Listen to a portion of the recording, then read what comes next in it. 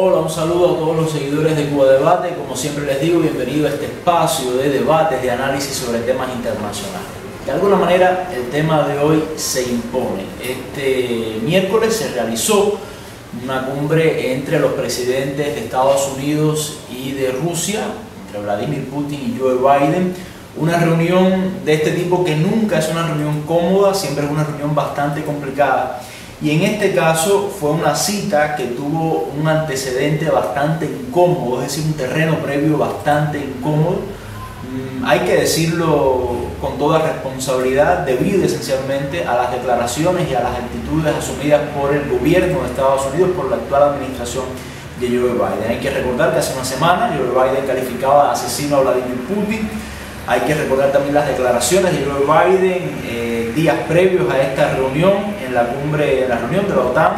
también haciendo referencia a Rusia en términos bastante eh, fuertes y bueno, las sanciones que han sido aprobadas también en, las últimas semanas contra Rusia. Es decir, un ambiente que para nada era propicio, para nada era positivo, para nada generaba confianza para esta cita. No obstante, se dio la cita, ambos eh, mandatarios han salido satisfechos según las conferencias de prensa que realizaron posteriormente y hubo ciertos acuerdos eh, tímidos, vamos a decir, pero que sin duda son un paso hacia adelante, por ejemplo el retorno de los embajadores, comenzar a hablar sobre o consultas a nivel de Cancillería, del Departamento de Estado de la Cancillería rusa, sobre eh, determinados asuntos, se habló de asuntos muy importantes también que tienen que ver para ambos países, por ejemplo el tema del Ártico, muy importante,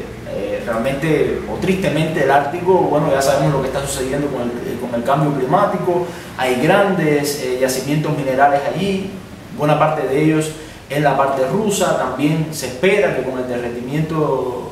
de, de los glaciares, bueno, sea una, una, vía marítima importante también, el tema de los, de los ciberataques, otro tema importante, recordemos que Estados Unidos acusa a Rusia de haber provocado ciberataques contra Estados Unidos, sin embargo, eh, ayer Putin, o sea, decir, este miércoles Putin en su conferencia de prensa daba a conocer de que se han registrado más ciberataques aún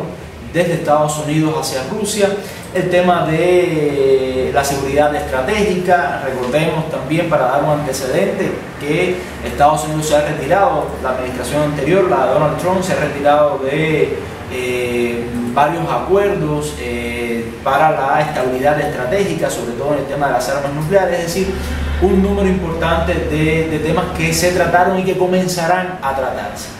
La, gran pregunta es, ¿hasta qué punto esta cumbre, hasta qué punto esta reunión podrá eh, mejorar las relaciones entre ambos países? Y aquí hay un punto medular importante. Las relaciones entre Rusia y Estados Unidos nunca podrán ser relaciones amistosas ni relaciones cordiales. Son relaciones de por sí antagónicas, porque son dos países que eh, representan modelos totalmente diferentes. Estados Unidos representa ese modelo de relaciones internacionales basado en un mundo unipolar con una potencia hegemónica que en este caso es Estados Unidos y una serie de aliados, dígase eh, la Unión Europea, los países europeos, algunos países asiáticos y Rusia junto a China representan un mundo multipolar, un esquema multipolar de relaciones internacionales que son realmente eh, antagónicos. Y también hay que tomar en cuenta las características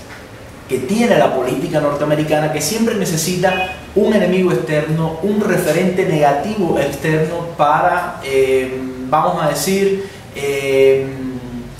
ejemplificar o sustentar muchas políticas a lo interno y sobre todo de política exterior. Ha sido el comunismo, ha sido el terrorismo y ahora Rusia y China son dos de estos enemigos eh, bastante evidentes o bastante usados. No por Biden, no por Donald Trump, estamos hablando de estructuras ya eh, que, se proyectan de forma más firme y más,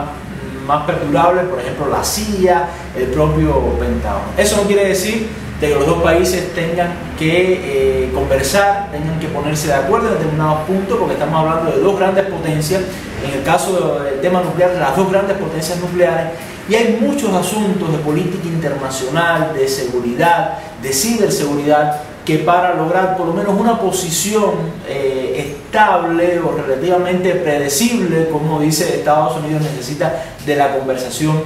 y, de ponerse de acuerdo entre ambas, entre ambas potencias. No obstante, esa es la dinámica y con esa dinámica hay que eh, analizarlo. Dos países antagónicos que representan modelos antagónicos, por eso son antagónicos, pero que necesitan cierto diálogo